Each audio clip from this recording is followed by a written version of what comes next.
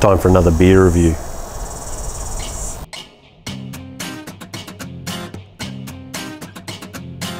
Today we're going to have a go at this one, Haiku. Hazy double IPA from Deep Creek. 8.0 ABV. Ought to be a good one. Well, welcome back, another beer review. Uh, like I said before, today's Haiku, Hazy double IPA from Deep Creek, 8%. Um, looking forward to this one. Have a bit of a read of the old can. Our latest haiku, Eastern Philosophy meets East Coast USA. Haiku are written with one of the four seasons as inspiration. As flowers spring forth, poetry is inspired beneath the blossoms. Intense flavours of citrus, mango, and lychee, poetically bold. Artwork by Frederick Lanson. Uh, can't remember if it's the same guy that did the last one, the, the Misty Miyagi, but it's a koi carp, lotus flowers on the front. Um, so yeah, you won't miss that um, if you're looking for it in the supermarket. This one was pretty sure this was uh, 7.99 at uh, at your New World. So I've inverted it to get all the goodness out of it. And today we're uh, we're drinking it not out of a tulip glass, but out of an old-fashioned pint.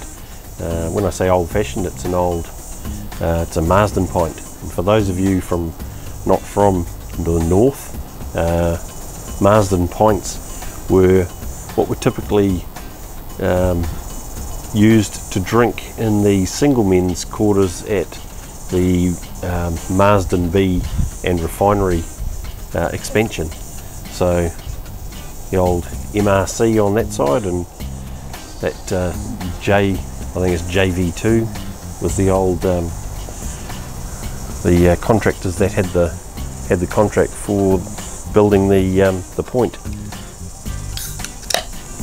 This one's got written on the side, Marsden Point presented 1985, so it's a bit of an old digger, but still going strong.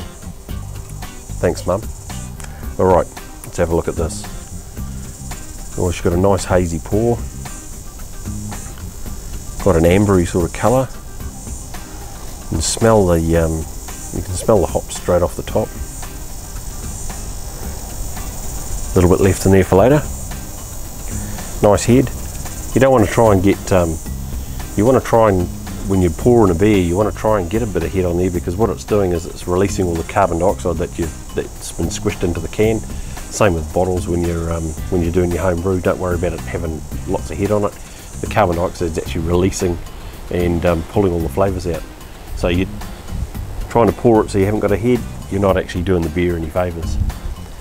All right, Look at that, that's um, kind of murky, looks a little bit like the Northern Wire, but uh, smells a hell of a lot better. Yep, you can smell um, tropical fruit in there. smells like peaches, I can smell peaches, which are probably lychees. I'm not a, not a bit of a fruit person, so I don't know what the hell a lychee is. I'm pretty sure it's one of these slimy little white things. Let's have a go.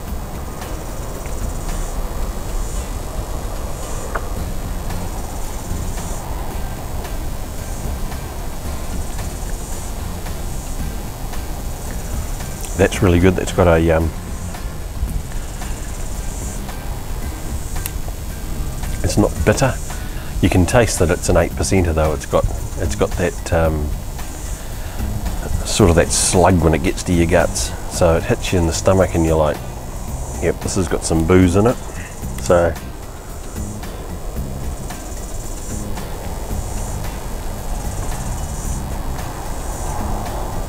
yeah, that's um, that's really good. Uh,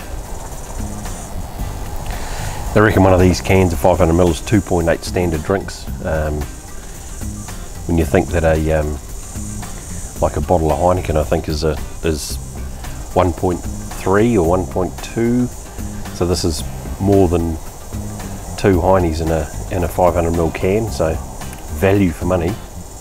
Um, that's got a real nice. Uh, bitter flavour that sort of hangs around for a little bit in your mouth. Um, would I buy it again? Yeah, I would, uh, especially at that price for a um, for a double IPA, hazy double IPA. Um, yeah, that's really really good. Um, yet to find one that you don't like. So if if you guys have any comments that you want to, bloody flies, Jesus. Um, got any comments that you want to make? Any any beers you want us to try and see what, see if we can find one that I don't like? I don't know. Might be hard pressed actually, unless it's a stout. Don't like those. But uh, these these double IPAs um, definitely definitely like those. So um, yeah, there's another beer review. If you want to have a crack at this one, Deep Creek, they seem to be putting out a hell of a lot of good stuff. We've got another one in there to try. Uh, the Jungle IPA is going to be the next one, so we'll have a go at that one. But uh, yeah, like and subscribe. Some other videos probably over here that you can um, have a look at, and uh, we'll catch you next time with another beer review from uh, the Beer Sarge.